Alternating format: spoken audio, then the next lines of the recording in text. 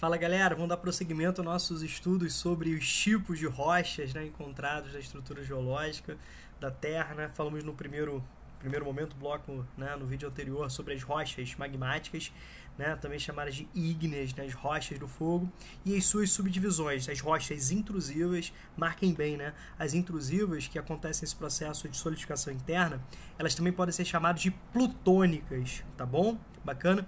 E as rochas extrusivas, elas podem ser chamadas de vulcânicas, um processo, né, mais externo, mais lento, tá? O processo mais externo e mais rápido, né, as rochas extrusivas ou vulcânicas, tá bom? Certo? Então vamos lá, vamos seguir firmes aqui. Agora a gente vai falar sobre os dois outros grupos, né?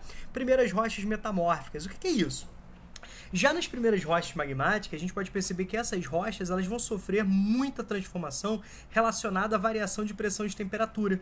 Então a gente vai perceber que nós vamos ter mudanças né, nessa estrutura. Então são as rochas transformadas, rochas metamorfizadas. Por exemplo, é, possivelmente também você deve ter uma rocha metamórfica na sua casa. Né? É, vamos pegar, por exemplo, assim, ardósia. Né? A ardósia é muito utilizada para como, como pisos na construção civil. Ela é formada a partir da transformação né, é, da argila, que é um exemplo né, de rocha sedimentar. Tá legal? Por exemplo, é, o, o, mármore, né? Alguns tipos de mármore, inclusive, são valiosíssimos aí em termos comerciais, né? São, assim, pedras, né? São rochas assim extremamente bonitas, né? São lindas e tal. O que, que acontece? O mármore é formado, por exemplo, né? Pelas transformações no calcário, que é um outro, né? É uma rocha sedimentar. Estão entendendo? Certo? Então nós temos aí as rochas transformadas por ação de pressão e temperatura. As rochas sedimentares são aquelas mais recentes, né? Pegando naquele processo, a gente vai falar um pouquinho depois sobre né, é, as datações geológicas. Então, as primeiras rochas elas foram formadas ali naquele período pré-cambriano, né? É...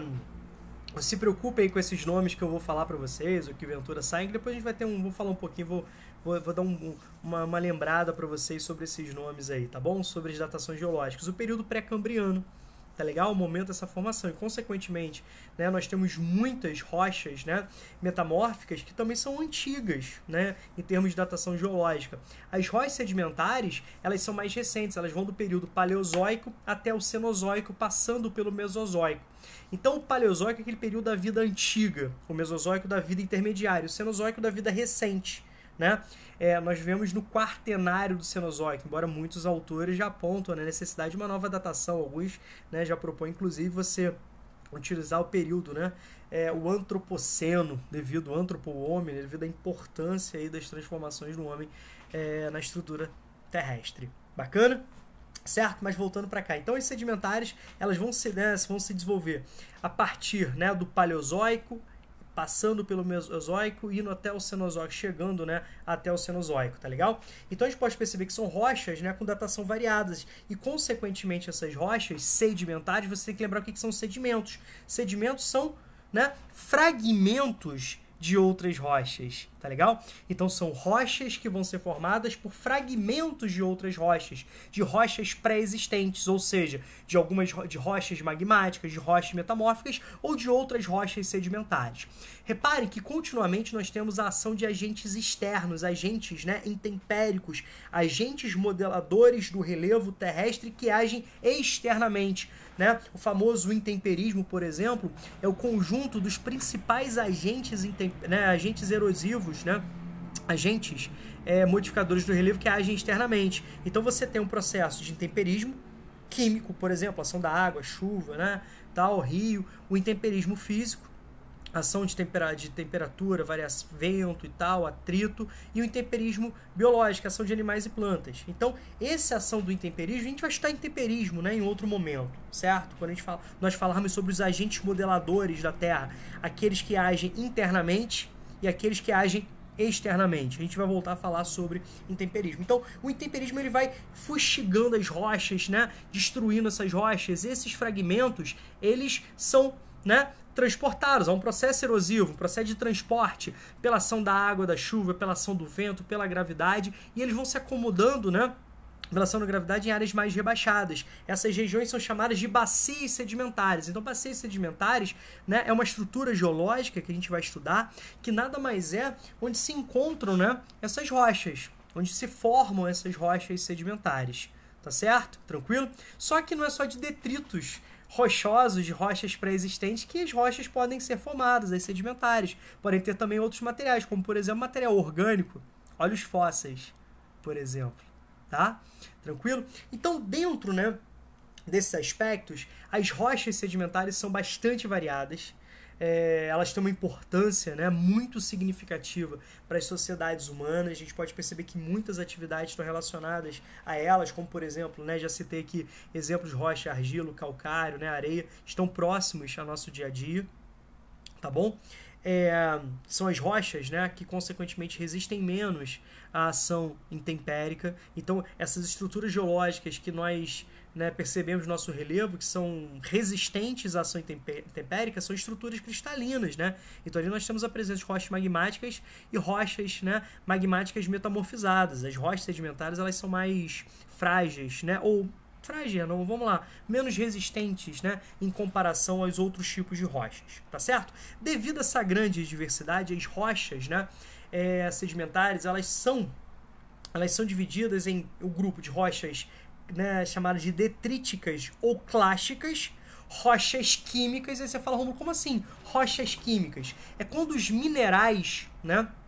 De detritas, detríticas você já entendeu, clássicas, né? Quando você tem um processo de acúmulo de detritos, um processo de né, sobreposição. Por isso que é muito comum quando você olha uma estrutura geológica, você vê os vários estratos, né, com cores diferentes, mostra os vários períodos de estratificação, os vários momentos geológicos de acúmulo e estratificação tá legal? Certo?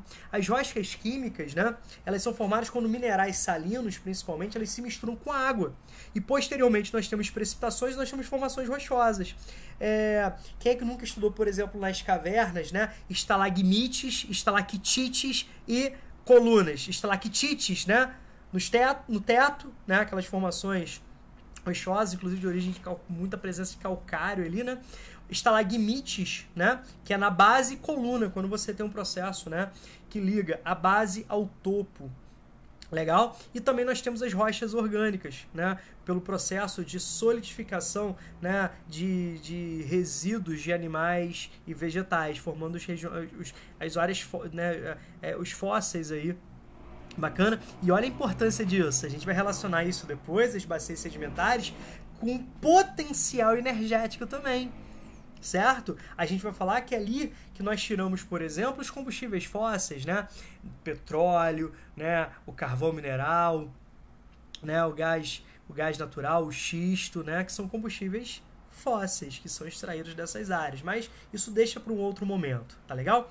Aí você deve estar se perguntando, Romulo, mas como que se dá esse processo, né? Como que se dá esse processo de sedimentação? O que que acontece? Já entendeu que você tem destruição de rochas pré-existentes pela ação intempérica você já entendeu que você tem movimentação desses sedimentos, nós temos ação erosiva desses fragmentos, né, que vão ser levados pela ação da chuva, na gravidade, vão se acumulando em áreas que vão receber áreas rebaixadas, né, que vão receber formando as chamadas bacias sedimentares. O que que acontece? Você vai tendo um processo, né, de sobreposição de sedimentos. Concorda ou não? Esses sedimentos vão sofrendo pressão. Bacana? Pressão. E com isso eles vão se consolidar. Então eles unem-se e consolidam-se num processo muito né, especial, formando um único conjunto, um único, uma única estrutura, melhor dizendo. Esse processo é chamado de litificação ou diagênese. É o processo de formação das rochas sedimentares. Então nós temos o processo de solidificação, que forma as rochas magmáticas. Nós temos o processo de metamorfismo, né, que forma as rochas metamórficas pela ação de pressão e temperatura sobre rochas pré-existentes, alterando a sua estrutura. E nós temos as rochas sedimentares, que são formadas por um processo de acúmulo de sedimentos que podem se misturar à água, podem né, ter a participação de água, podem ter né, mistura com água, podem ter a presença de matéria orgânica. Então você tem um processo de sobreposição de sedimentos. Tudo bem? Através da pressão né, de várias camadas ao longo da evolução geológica, você tem né, um processo de pressão que une, né, que, que une esses fragmentos, né, consolidando né? É, consolidando um único, uma, em uma única estrutura, certo? Aí o nome do processo de litificação, certo? Ó, litosfera, lembrou? Esfera das rochas. Legal? Então procede de litificação ou diagênese.